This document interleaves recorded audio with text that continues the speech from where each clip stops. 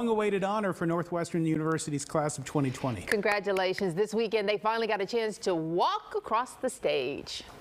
Finally, about time.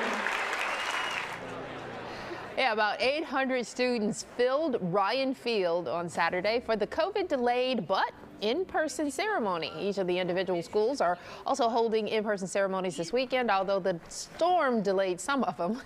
Monday, the entire class of 2021 will have a virtual graduation. Prom